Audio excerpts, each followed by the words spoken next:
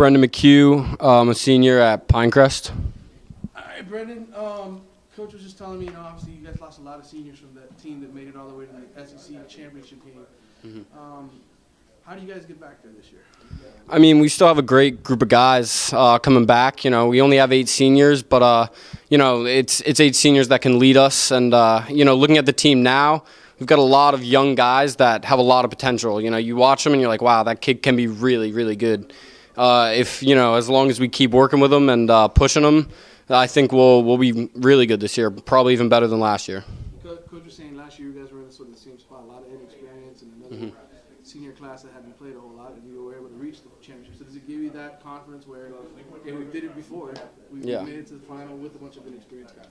Oh yeah, yeah, yeah. I mean, uh, you know, last year it, we were in the same position as we are now, the exact same position. You know, we've got a lot of guys. We're like, we don't know how good we're gonna be. We played a spring game, we lost, and we were like, man, you know, some guys were starting to get down, and we were like, hey, you know, we just need to keep working.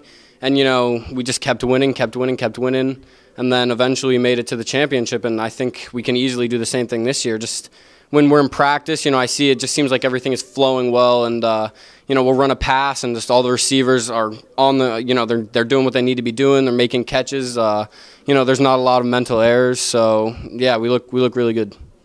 Um, what has playing in the, in the SEC done for you guys? Because before, when you had you know districts and so and whatnot, it sort of seemed like it was an uneven playing field for some teams. Yeah. Do you guys get excited, even though it's not a state championship per se? Does it still get you excited to win the SEC top championship and play for a championship like that? Oh yeah, of course. I mean, to us, that's that's the state championship. That's what we go for. You know, last year and this year, it's open November 18th. This year is the, is the uh, championship, and we're going for that. That's every day we're working. We say, you know, when we break down November 18th, November 18th, because we're that's all we're going for. We're trying to win that championship. We're trying to get back. And uh, last year we couldn't win it, and this year our focus is the next level. We're trying to trying to get there and bring it home this year. So. Uh, last question. Tell me about some of your teammates that, that did come back. The eight seniors mentioned their names and, and how they're going to help you guys mesh.